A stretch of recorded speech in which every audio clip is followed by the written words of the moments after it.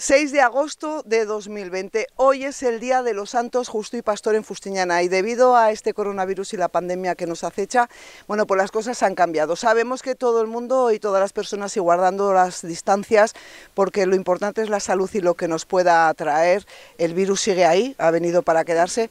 Bueno, pues hemos eh, visitado también a unas personas aquí en Fustiñana que estaban celebrando, bueno, una comida también en lo que es este día eh, tan entrañable que no se va a poder celebrar. Sí que hemos visto la misa, pero también eh, sabemos que la gente se ha reunido y sabemos que tienen mucho cuidado en lo que es este virus.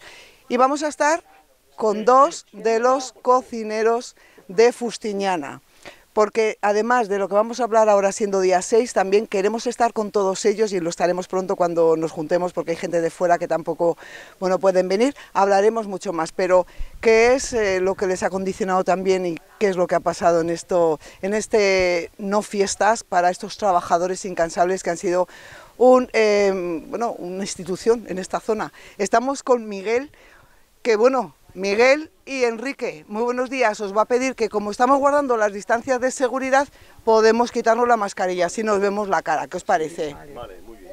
Seguiremos guardándolas, estamos al aire libre y guardamos Miguel y Enrique. Muy buenas tardes. Muy buenas tardes. Bueno, estáis echando en falta. Hoy es 6, 6 de agosto. ¿Quién no lo iba a decir, Miguel? Bueno, un poco tristes estamos, pero la vida está montada así. No nos queda otra. No nos queda otra, es que, es que lo que viene no, no, hay una, manera de pararlo. Claro, ahí está el problema. Echamos en falta ese trabajo, un año que no se va a poder hacer, Enrique, las comidas populares, que mañana, yo creo que al ser mañana viernes, posiblemente sería el estofado. Pues sí, pero yo soy muy fusteñanero también, he sido, me han gustado mucho las fiestas, he vivido mucho las fiestas, eh, ya no es por las comidas, sino porque me ha gustado mucho el ambiente del pueblo, me ha gustado mucho las, las vaquillas, los conciertos, todo. Y, claro, y, esto es de añadido, el tema de las comidas, y es una cosa que a mí eh, desde el principio me, entrañó, me, llegó mucho adentro porque eh, era una manera de sacar a la gente que la gente entonces estaba muy remisa a salir salía la gente, pero no había un ambiente eh, como era antiguamente, que salíamos todo el mundo a la calle. Salían, pero con un poco de recelo, que no había nada, que esto, que el otro. Y el tema de las comidas, yo creo que les llegó a mucha gente eh, el decir, joder, tenemos una carpa, tenemos unas comidas, joder, vamos a ver qué tal está el tema y a ver qué tal eh, se porta el ambiente, qué tal eh, salen las comidas, esta gente que se preocupa un poco por nosotros, el ayuntamiento que se preocupa, y al final, al cabo de los años, ha sido un exitazo rotundo. ¿Rotundo por qué? Porque a mí me gusta ver salir a la gente, y sobre todo al mediodía. Están hasta las 4, las 5, las 6 de la tarde. Eso ha sido una cosa grande para Fustiñana. Y luego la satisfacción nuestra es que te digan, estaba muy buena la comida. Se ha estofado, que se empezó con, se empezó con una paella que aquellas maneras. Se empezó con una novilla que la mataron. Se empezó después otra vez otra paella, que vinieron unos valencianos. Y ya, desde entonces ya yo ya en llegar a entrar, este ya estaba metido en el tema, Miguel, y llegué a entrar y, ya se empezó a hacer el estofado, esa gente, había ambientillo, la gente colaboraba, esto se comía por las calles, por los bares, pero llegó el momento de la calpa y los bares criticaron mucho el tema, pero fue un acierto total. Fue un acierto total. Antes había para los bailes un almacén, el almacén que había ahí en la, eh, carretera, pero la, la sí, pero el tema de los bailes era mm, una cosa esencial que no podía faltar en las fiestas, faltar en las fiestas, porque pues porque había sesión de vermú, sesión concierto, sesión de tarde, sesión de noche, y lo que antes nos divertía, las vaquillas, el baile y un poco más de juerga. Hoy en día se divierte la gente con muchas más cosas, por ejemplo las comidas por ejemplo, las comidas populares. Y a nosotros pues nos da una satisfacción grandísima eso, el, poder decir, joder, que es que están ahí estos pasando, que es que a nosotros nos da igual eso. Lo importante es que la gente salga, que la gente esté a gusto, que la gente diga, qué buena estaba la comida. Y a nosotros eso nos llena mucho. Entonces, eh, yo lo único que más siento ahora es que este año no se haya podido hacer todo lo que se quería eh, nosotros dicen, este año no vais a hacer comidas. Joder, por una parte lo he hecho en falta, por otra me jode. Eh, y, y, en general me jode que no haya fiestas, porque a mí me gustan mucho las fiestas. Soy un fustillanero nato y me gustan mucho las fiestas y me han gustado toda mi vida. Y por eso me jode mucho que no haya unas fiestas tan entrañables como son, tan bonitas y con tantas, eh, con tantas cosas como hay en, durante las fiestas y demás. Pero el, el tema es que, que, no se puede hacer otra cosa, que no podemos hacer más. Y lo siento en el alma. La verdad lo siento en el alma. Porque ¿cuántos años ¿Cuándo empezasteis, por ejemplo, la primera comida popular en Fustiñana, así esta que dices de prueba? Para... El año 93. En el año 1993. No, no, no. La primera comida que se hizo, que fue una paella... Eh, pero digo de continuidad, cuando De continuidad se empezó, pues, uno, dos, tres, cuatro años más tarde, que serían en el 96-97, por ahí, aproximadamente. Ya se empezó a hacer el estofado que era la única comida que había, que no había más que el estofado. Una vez recuerdo que se hizo un para fiestas de la juventud se hizo se hicieron garras de pollo. Que por cierto salieron medio crudas. sí, sí. a, Rico pero, no, a Rico no le gusta mucho el pollo. pero, y se hizo en el caldero grande, se hicieron con cebolla, tal y cual, bien preparadas y eso, pero al final no, no salieron bien del todo pero se las comieron. Porque serían muchas, ¿no? Sí, sí, no sé, la, yo ahora mismo la cantidad no me acuerdo. Muchas. Pero fue unas fiestas de juventud. Y se hicieron unas garras de pollo. Unas, unos cientos, Unos cientos unos. Pero, a ver, y yo para yo lo que más me acuerdo de eso, que no salieron muy, muy, muy allá, pero se las comieron, se las comieron. Oye, porque la verdad que las comidas populares han resaltado Fustiñana por sus fiestas, además de todos los actos, pero ver la cantidad de gente, ver la buena organización que tenéis ahí, es que vosotros mismos tenéis que estar No. alucinando. Miguel. Yo estoy alucinado porque primero que la gente colabora y cuando la gente colabora, pues yo estoy contento. pues, Es que, es que vivimos, no vivimos de, de que la gente esté alegre. O sea, yo vivo de eso. Entonces estoy alegre de que la gente esté contenta. Yo no me doy cuenta de lo que trabajo ni de lo que trabajo, porque estoy a gusto haciéndolo. Porque estáis sin ánimo de lucro, lo estáis haciendo voluntariamente, vais allí desde el punto de la mañana y cocináis para, porque no sé cuántas miles de comidas, miles en lo, en los- en lo que son las cuatro comidas populares o tres, Raciones. A, a personas montón, Sí, ¿no? mira, pues- Miles, ¿cuántas, ¿cuántos menús, por ejemplo, en los días de fiesta? Pues por, por ejemplo, ponle 800 cada Por una comida. media como mínimo De- de, de- de 800. 3.000, 3.200. Pero cada comida, por ejemplo, la, mínimo, ¿eh? la comida de estofado, tanto, de tanto, al final 800 de cada, de cada, hay cuatro comidas, 8 por 4, 32. No, pues no, está. no, sí, No, pero- más, porque el, el día, el día del Bogavante Ya lanza Avante mucho. tienes 1.500 Sí, personas. pero hay alguno que un poco más baja y otro poco... Una Pero por baja la otra, menestra, baja la el- menestra. menestra, chicas. El, el, el estofado, que antes era el, el plato estrella, pues tienes 1.300, 1.400, 1.500 personas. Fíjate, y échale otras 1.500 del... Eso, pues yo he hecho un cálculo de 3.500 personas por lo menos. El estofado- 1.500 menús en vuestras cuatro el problema comidas. del estofado es que la gente no está, estamos todos allá, porque los jóvenes se van a tomar por sacos, de que digo yo, se van a, a sus sitios, pero a la hora de comer estábamos cuatro. No, pero, pero últimamente ellos en la otra calle se llevaban el estofado que al final, como se quedaban con hambre porque no se les llevaba tanto, decidieron No, ya... yo, yo pienso que el problema de la, gen- de la gente joven era que no querían regirse a un horario.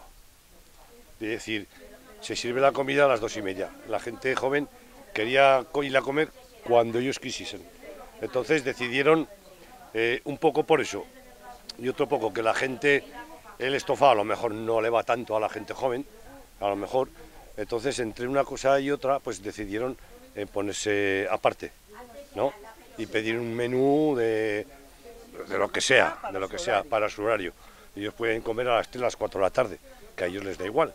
Claro, entonces el resto de gente del pueblo que viene a comer tiene que comer a la hora, a las 2, 2 y media, que es la hora habitual para comer. Entonces los jóvenes, yo creo que fue más cuestión de horario, a lo mejor un poco del tema de comida que, que otra cosa. Porque ellos los primeros años estaban a gusto. Se les llevaba la comida, servía. Lo que pasa es que llegabas a las mesas, faltaban 10, faltaban 20, faltaban cuatro, faltaban seis. Entonces, ¿qué pasa? No, no había una coordinación para servir todos a, servir todos a la vez.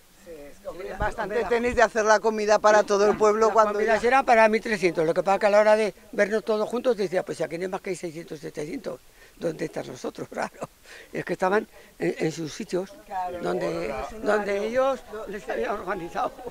Y luego la gente que se lleva a las peñas, gente particular, que se van con las operas, que, bueno, cada uno tiene sus motivos, sus, sus problemas y sus cosas, pues yo estoy de acuerdo, pagan su ticket, pagan su eso.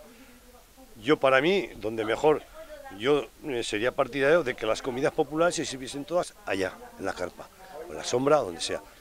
Gente enferma, me parece muy bien que se les lleve la comida a casa, que esto, que lo otro.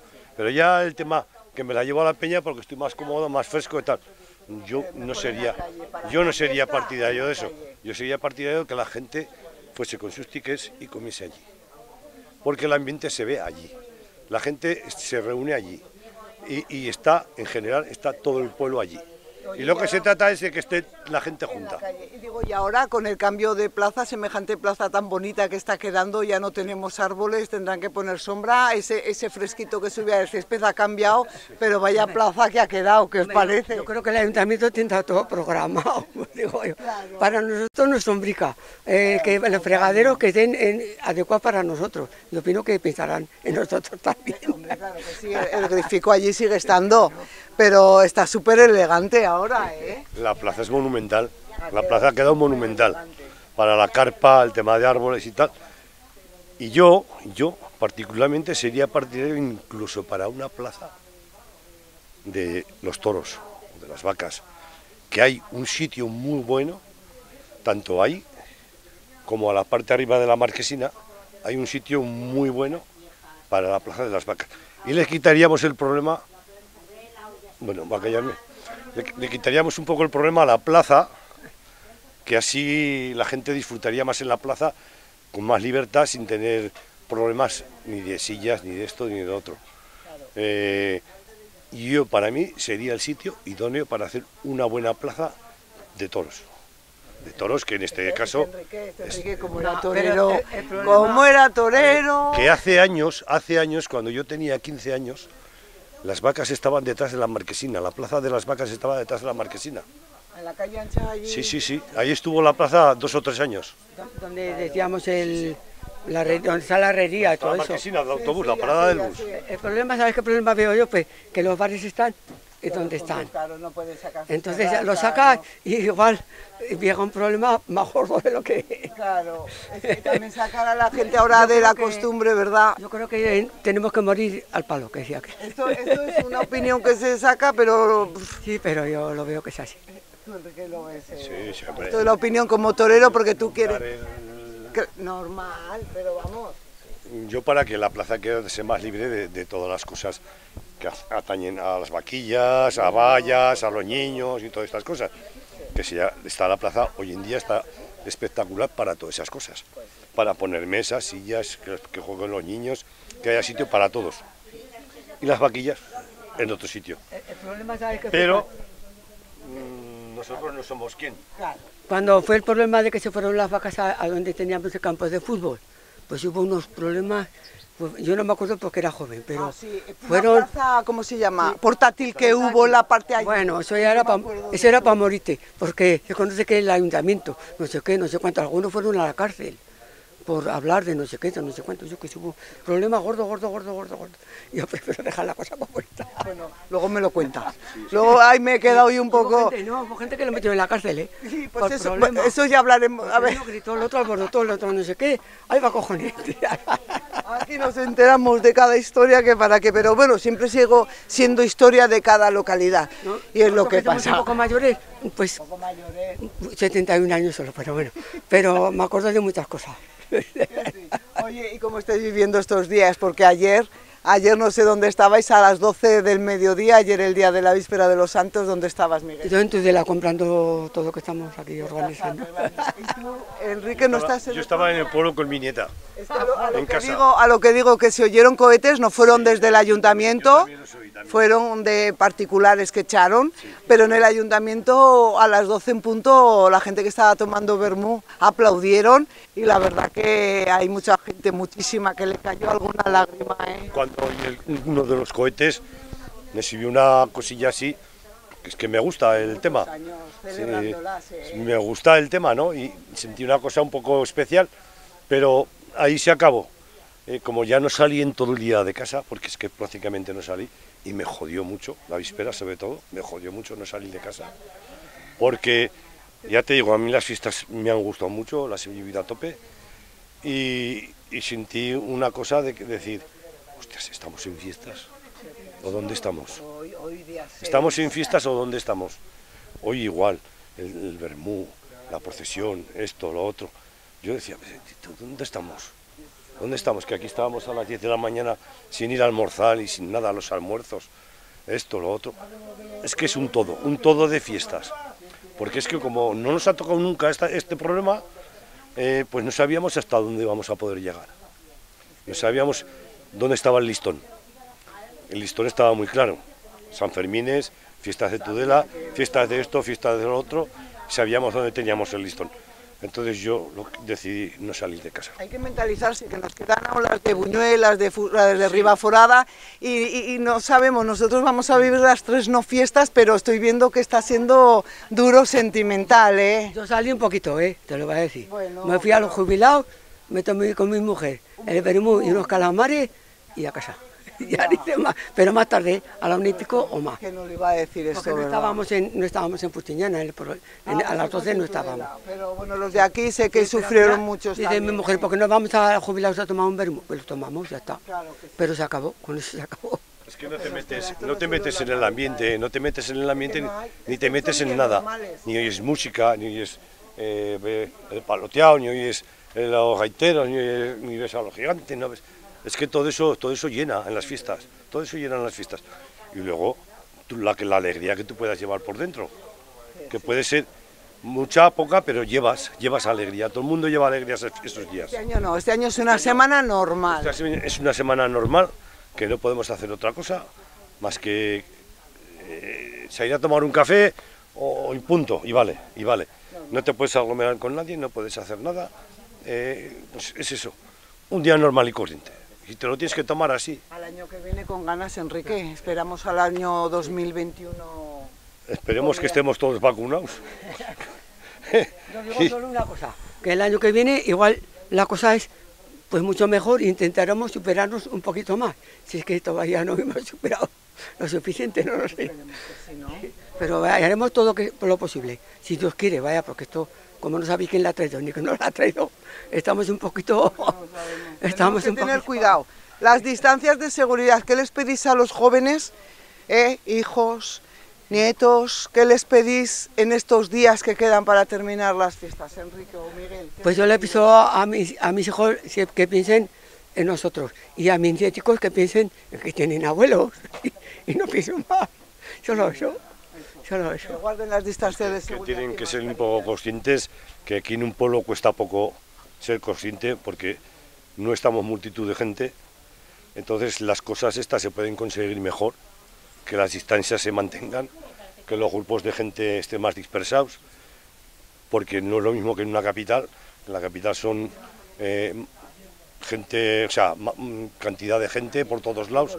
Aquí, aquí, aquí, por, aquí por lo menos podemos, tenemos sitio, somos un polo para poder mantener distancias con sus mascarillas respectivas y tal y cual, y que si tienen un poco de, comprensión, pues eh, yo creo que se tienen que comportar bien, porque además pasa una cosa, que esto hace mucho. Si nos ponemos todos a beber, no respetamos a nadie ni nada. Ahora, si somos conscientes de esto y de lo otro, pues yo creo que llegaremos todos a buen puerto. al principio todos van normales, pero cuando llegan ciertas, ciertas horas, ahí va fulano, me encanta, pues, pues que si cuando bebes un poquito de más, ya no somos las mismas personas. Hemos cambiado. Entonces ya te juntas esos mi cabeza, abrazos. mi cabeza ya no es la misma. Así lo digo yo, como que soy mayor, como a los jóvenes les pasará lo mismo. Sí, en este 6 de agosto hemos venido, os hemos visitado, hemos aprovechado, hemos visto que la cuadrilla os habéis juntado, pero seguís manteniendo la seguridad, la distancia, con mascarillas habéis estado, luego en el café puesto, es que vosotros mismos, ¿no? Estáis Yo estoy por ejemplo, estamos en, cada uno con su parejita, pues, o lo que sea, estamos más o menos cada metro, un metro, un metro y medio, pues distanciados. Es que más o menos es que somos una persona que sabemos lo que tenemos que hacer. Claro. Y al aire libre, al aire libre no es lo mismo que en interiores, desgraciadamente. Por descontado. Y es la primera vez que nos juntamos. Desde, desde el día eh, 14 de marzo es la primera vez que nos juntamos. Que no nos hemos juntado ningún día, que es el primer día. Claro. Y- pero hoy es hoy es un día importante. un poco con ganas, con ganas también. Y con ganas de celebrar algo. Pues por lo menos decir, oye, vamos a juntarnos para comer. Celebramos una comida en honor a las fiestas, a las no fiestas, a las no fiestas, pero eh, no hay otra forma. Es que no hay otra forma y otra manera de hacerlo. Porque no puedes expresarte en la calle como tú quieres. Nos expresamos un poco, como dice aquel, a escondidas, pero Con cuidado. Con cuidado, siempre con cuidado. Bueno, pues espero que las fiestas 2021 volvamos a vernos con los delantales y vamos a alzar la copa y Miguel va a hacer los tres vivas a los santos, a Fustiñana y a todo. Imagínate que los tienes todos ahí, vamos a brindar. ¿Qué les dirías en este día 6 de agosto de 2020? Bueno, bueno, a ver, primero viva ese Justice Pastor y que el año que viene pues sea diferente, porque esto es un- una calamidad lo que Ahora pasando. nos cantan los vivas que Enrique y yo te vamos a contestar. Imagínate que estás en el balcón del ayuntamiento. Fustiñaneros. Fustiñanero, viva San Justo y Pastor, ¡Viva! viva San Justo y Pastor, ¡Viva! ¡Viva! viva Fustiñana, ¡Viva! viva Navarra ¡Viva! y vivamos todos Viva yo. juntos. Que estemos todos juntos, como el año pasado. Todos que estamos aquí, que estemos, que estemos el año que viene. si Dios quiere. A los vivas. Bueno, pues aquí nos quedamos con ellos, que la verdad que estamos celebrando el día 6, Día de los Santos Justo y Pastor, pero de otra forma. Al año que viene esperemos volvernos a ver como estábamos acostumbrados. Chicos, gracias. Salud. ¡Salud! Después de escuchar a los afamados cocineros y aquí también en esta comidita de amigos, eh, vamos a hablar, bueno, pues con uno que fue en su día forastero y yo creo que en estos momentos ya se considera parte fustiñanero. Hablaremos con José Antonio León. Muy buenas tardes, José Antonio. Buenas tardes, ¿qué tal estamos? Que nos gusta mucho tu historia porque, bueno, llevas aquí muchos años, pero queremos saber un poco eh, cómo llegaste a Fustiñana. Pero para empezar, ¿dónde naciste? Bueno, pues yo nací en Melilla. Soy norteño, soy del, norte de África. Y bueno, mi padre, mi padre era militar. Y bueno, pues estuve allí 18 años viviendo y a los 18 años me fui a Barcelona, donde estuve otros 18 años y allí fue donde conocí a mi mujer Mercedes. Y bueno, pues 18 años allí felices y por las cosas de la vida, pues bueno, acabé aquí en Navarra y últimamente pues aquí en Fustiñana. Llegaste a Navarra, vamos a ir por partes, y en Tudela, porque eres jefe de sección de Plasticomium, aquí mismo cerquita, pero viviste en Tudela también. No llegaste directamente a Fustiñana. No, eh, nosotros estuvimos viviendo un año en Tudela. Y, y, bueno, pues estábamos bien, pero evidentemente, bueno, cuando cambias de, de lugar de vivienda, bueno, pues no se pasa muy bien. La verdad es que fueron tiempos duros, pero bueno. Y, pero bueno, yo, o sea, yo tengo una hermana que, bueno, pues su marido, su hermano, se casó con una chica de Fustiñana. Y bueno, pues cuando estuvimos en Tudela, pues ellos viven en Pamplona, y entonces nos dijeron que, bueno, pues que a ver si nos acercábamos por Fustiñana, nos, eh, nos presentarían gente porque éramos nuevos aquí. Y oye, y a partir de ahí, pues oye, pues fenomenal, la vida nos ha ido genial. Bueno, entonces ahí conocisteis porque vinisteis con una hija que también el cambio para ella tuvo que ser importante. Muy importante, sí, muy importante. La edad que tenía. Sí, y duró, tenía nueve años, creo, que tenía nueve años. sus amiguitas ya, Sí, sí, todo. sí. Y mi mujer también, ¿eh? También fue duro para Mercedes. Muy duro para, fue duro para todos. Pero bueno, Bueno, al final de la vida te has dado llevamos, cuenta. lo llevamos muy bien. Bueno, pues llegaste y te presentaron a esta cuadrilla que cuando los viste dijiste, ay, qué majos, que es que me la juego todo y me voy a vivir a Fustiñana? Pues la verdad es que sí, eh, estuvimos por aquí, bueno, estuvimos algunos días con, bueno, con este chico que os decía, nos presentaron a esta cuadrilla y la verdad que genial y a partir de ahí fue día tras día, día tras día, día tras día, nos dieron una oportunidad de una casica en Fustiñana, cogimos la casica y hasta el día de hoy encantado de la vida. ¿Y en ese qué año fue?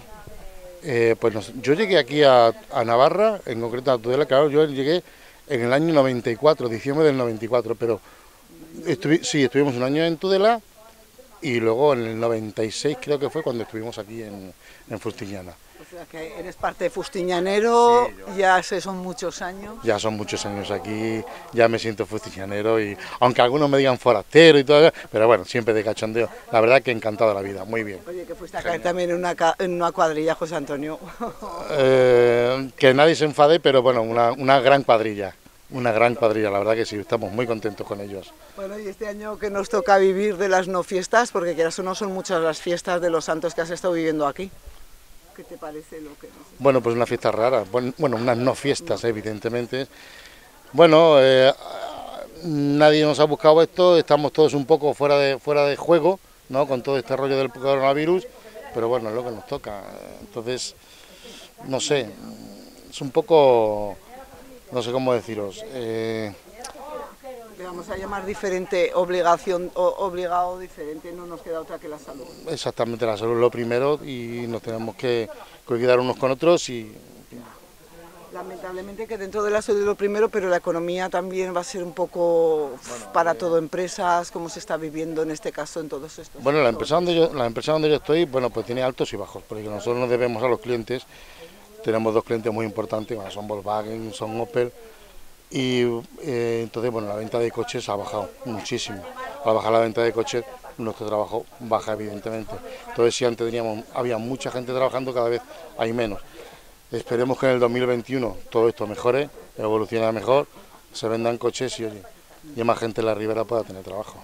Pues es importante y sobre todo para aquí en esta zona hay una empresa eh, bastante importante para dar mucho empleo a todos estos riberos y gente pues sí la, zona, la verdad es que sí la verdad es que sí bueno, ¿y cómo se está viviendo estas fiestas? La primera salida, como nos ha dicho Miguel, de juntarse con mascarillas, distancia al aire libre. No nos queda otra. ¿eh? No, no, no, evidentemente, no queda, no queda otra. bueno, pasa, pasarlo a gusto, ¿no? Claro que sí. Durante esta semana seguiréis quedando la cuadrilla, ¿no? Sí, me imagino que algún día quedaremos, comeremos o cenaremos y lo pasaremos lo mejor posible. Siempre guardando las distancias y sobre todo los jóvenes, como hemos hablado también con Miguel y con Enrique, que los jóvenes son los que pueden portar a la familia, a los abuelos, a los padres esta enfermedad, que ahí la tenemos para quedarse. Pues sí, la verdad es que sí, ellos deberían de, ser un poco coherentes, eh, a todos nos gusta la fiesta, a todos nos gusta salir, pero bueno, deberían de ser un poco respetuosos con los mayores, porque lo que, puedo, lo que pueden coger ellos se lo pueden aportar a los mayores, y hoy día los mayores con esta enfermedad son los más perjudicados. Entonces deberían de, andar con un poquito de cuidado, simplemente pensando en los suyos. Oye, pues José Antonio, seguiremos eh, con la café tertulia, a ver si el año que viene está vuelta ya casi la normalidad de las fiestas y que disfrutéis esta semana como podáis, con la distancia de seguridad y con todo lo que ello conlleva. Esperemos que sí, esperemos que sí. Gracias a vosotros. Estamos con Ángel también en este día 6 de agosto de 2020 en esta comunidad de amigos, Ángel, muy buenas tardes. Muy buenas tardes, Isabel. Hablamos contigo, con 10 años te fuiste de Fustiñana, volviste en tu jubilación para quedarte aquí y disfrutar de este tu pueblo. Bueno, realmente entre mis 10 primeros años cuando yo me marché y la vuelta con la jubilación hay toda una vida en medio, ¿no? Y es verdad, es verdad que jamás, jamás eh, generación ni yo mismo hemos visto nunca nada parecido a lo que ha sido hoy es esta pandemia hasta el punto de tener que anular o suspender las fiestas populares. Esto es como un tema grave realmente. Sí, porque estábamos hablando, alguna vez hablamos de que esto no ha ocurrido nunca, no se sabe, bueno, hablamos de la desde, desde 1916-18, donde fue la gripe española, tampoco las fiestas eran lo que eran ahora. Seguramente, a ver, en aquella época, pues evidentemente los medios que hoy tenemos no los tendrían, pero celebraban sus fiestas populares como es natural, ¿no? Y aquella maldita fiebre española, mal denominada así, pero se denomina y nos la echan encima. la tal fiebre española en la década del 10 al 1910 a 1920. Claro, estamos hablando de una época en que concretamente, pues mis padres este año hubieran cumplido 100 años. Ya nos pilló un poco tras mano a todos, pero bueno, les tocó en, su momento a aquella otra generación. Y desde esa época hasta nuestros días, que yo sepa y tenga conocimiento, pues jamás, jamás ha habido un tal calibre de, suspensión de fiestas populares que es lo más importante, que es por lo que la gente, pues en su momento se vivía para las fiestas. Se cosechaba para las fiestas, se vendía el trigo para las fiestas, etcétera. Se procuraba tener un dinerito fresco para las fiestas. Ahora nos ha tocado decir, no hay fiestas, pues no hay fiestas, no pasa nada, no pasa nada, otras vendrán. La verdad que hay gente que lo sufre y sobre todo nos vamos a ser, tanto los mayores también, porque se disfruta cada uno a su manera, pues según la edad, sus salidas, pero los jóvenes también, estos de los 18, 17, que están esperando esas sus fiestas, también tiene que ser duro para ellos que hemos tenido esa edad. Seguramente, seguramente que los que tengan 18, 20, 25 les es muy duro para ellos, pero tampoco tienen derecho a pensar que no es duro para los, mayores, para nosotros cada generación a su modo y manera pues se divierte, se lo pasa bien, tiene un concepto diferente de lo que es la alegría, seguramente que no iremos a, saltar, a brincar, seguramente que no, pero tenemos nuestro modo de divertirnos, nuestro modo de ver la vida, nuestro modo de pasarlo bien y, y nuestro derecho es también su derecho y su derecho es nuestro derecho. Y es un año que va a quedar ¿Va a marcar un antes y un después, crees Ángel, todo esto que nos está pasando? Seguramente que sí, seguramente que sí. Se habla de que nos va a cambiar eh, la vida, no lo sé hasta qué punto. No sé si estamos aprendiendo algo o no estamos aprendiendo nada. Ojalá que sí aprendamos cosas, cosas positivas, evidentemente y una de las lecciones que deberemos aprender será el respeto, el respeto sobre todo de los unos con los otros, respeto por la mascarilla, respeto por la distancia, respeto por el posible contagio de las personas que creen no estar contagiadas y si lo están, respeto porque tú como eres joven y es verdad, tienes una inmunodeficiencia muy acentuada, es verdad, la gente mayor posiblemente no lo tenga tanto, entonces, el respeto pasa porque tú, que eres más inmune que otras personas, sepas controlarte, ¿no? A ver, no es la culpa a nadie, todo lo contrario, simplemente que es una invitación a que el respeto está en todos. Gente mayor, que también vamos con la mascarilla como bufanda, no hay derecho a esto tampoco. Gente más joven que se piensan que, que son inmunes a todo, tampoco a esto hay, creo yo, derecho. Entonces vamos a respetarnos todos, vamos a respetar todas las generaciones los unos con los otros, que esto en definitiva es un tema comunitario, comunitario, pero empieza por un tema personal, personal en que tú has de cumplir un tipo de ordenanzas que nos sugieren y que nos dan, que hoy son unas, quizás mañana cambien, todo va en medida y en función de, de cómo se va avanzando en los conocimientos, pero lo que no ha cambiado desde el primer momento ha sido justamente esto, ¿no? el respeto, pasando por eh, llevar la mascarilla puesta, por guardar una distancia y por guardar la higiene que se requiere, lavado de manos, etcétera. ¿A este virus qué, le pondrías por delante? ¿Un respeto o miedo hacia él? No, no, miedo posiblemente no. A ver, hay que saber convivir con él. Hay que saber convivir con él. No hay por qué tenerle miedo, sí hay que tenerle el respeto correspondiente, como a cualquier otra cosa. Tú a una vaquilla a ver, ya que estamos en fiestas, ¿no? No es que le tengas miedo, le tienes un respeto, te puede pilar, te puede poner 15 centímetros de, cuerno en tu cuerpo, ¿no? pones una barrera por el medio. Sí, evidentemente, ¿no? Entonces hay que saber convivir con él. Y miedo, pues no me gusta la palabra de ninguna manera. Respeto todo, todo, porque donde crees que no está, está. Tanto sea en las personas como en las superficies, está. Bueno, pues estas fiestas van a ser muy diferentes, nos vamos a acordar de por vida. Esperemos que las de 2021 podamos empezar a hacer unas fiestas, no sé si serán iguales o serán diferentes, pero que empecemos, ya estamos más aprendidos. Ya, en 2021 vamos a pensar que, que han de ser diferentes, vamos a pensar que ya estará extendida la vacuna correspondiente, vamos a pensar que habremos cambiado un pelín, vamos a pensar, no sé, una serie de cosas positivas y, ojalá, ojalá que, que fuera así, ¿no? que el 2021 sean unas fiestas cuando menos diferentes a estas que estamos pasando este año. Es verdad que estas son no fiestas, pero no por eso pues has de renunciar pues a una posible diversión, una posible comida de amigos, siempre, como digo, con el debido respeto que tenemos que tener los unos con los otros. Pues esperemos que esto vaya cada vez a mejor, que todos nos inmunicemos lo antes posible, que también eso es nuestra propia vacuna pero sobre todo que lo pasemos bien, que disfrutemos de estas no fiestas de la manera que nos dices, que podemos salir, que se puede hacer, pero siempre con ese respeto, mascarilla, distancia, por los que tenemos o por los que hay en casa. Exacto, siempre los que tenemos alrededor son los que nos tienen que marcar nuestras actuaciones, ¿no? Bien sea gente mayor, abuelos, etcétera, bien sea niños, que unos a otros se pueden pasar, se puede pasar un contagio y no por tener 18, 25, 28 años estás libre, no estás libre y puedes igualmente contagiar. Insisto en la palabreja respeto. Gracias. Muchas gracias Ángel, felices no fiestas, pero bueno, hemos disfrutado en este día de los Santos Justo y Pastor después de la misa en una comida entre amigos. Gracias y que lo pases bien.